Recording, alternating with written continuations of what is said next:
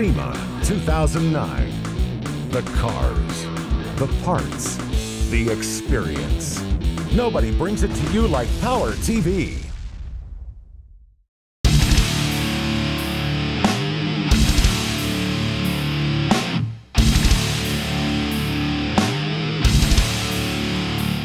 The internal components of your engine are a great factor in reliability and horsepower, and JE Pistons has a great reliable piston that they're introducing here at the 2009 SEMA show.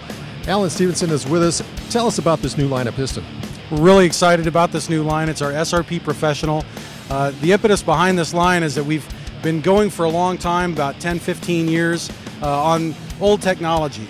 And now the new technology is here in the form of the SRP Professional got skirt coatings on these. We've uh, been able to achieve at least a 10% weight reduction on each and every component in there, some of them as much as 80 grams.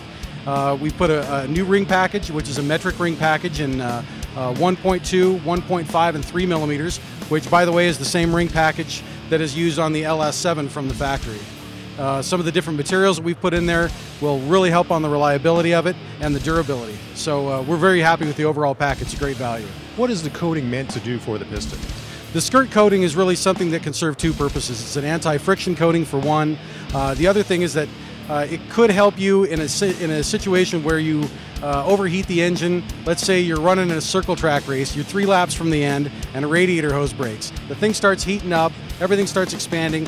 That skirt coating gives you a little bit of extra insurance to make sure you're not going to gall those pistons or, or run into a seizure problem at the final lap. So.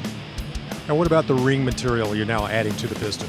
Yeah, the ring material is a huge step. That's probably the biggest story here. Uh, traditionally, when you're looking at this price point of, uh, of, pistons, you'll see either a cast iron ring or maybe a ductile iron plasma moly style ring. We've gone completely beyond that with this ring package here. It's, it's a carbon steel top ring, which anybody that knows about metals knows that carbon steel is many, many times better than uh, either cast iron or ductile iron. Uh, plus, there's no moly channel that could chip out as you uh, as you have with the older style rings. Uh, these are a plasma nitrided ring, and the wear resistance on plasma nitrided is about 60% better than on a traditional plasma moly.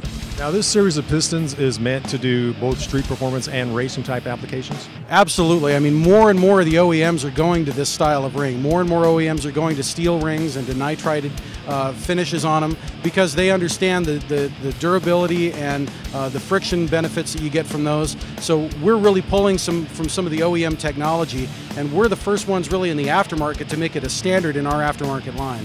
When you talk about value for this product, what are we talking about in terms of cost for a set of pistons? You know, the cost on the set of pistons, if people are used to buying a traditional set of SRPs with a, with a let's say, a sportsman style plasma moly ring package, you're going to have the same price point on these within about $20 for the whole set. So, you know, they start out on a retail basis at, at somewhere around uh, $575, including the rings, the carbon steel wrist pins, uh, the whole package, coated and everything. Now, Alan, aside from the domestic application, you have a specific piston that'll fit the Subaru engine. We do. This is something else we're very excited to unveil here at the SEMA show. Uh, this is the world's first all truly billet piston for the Subaru STI uh, EJ257 engine. And uh, if, if, anybody has the chance to look this thing up on our website or come by the booth either here at PRI to take a look at this thing, it's just a work of art. Our engineers did an amazing job with this.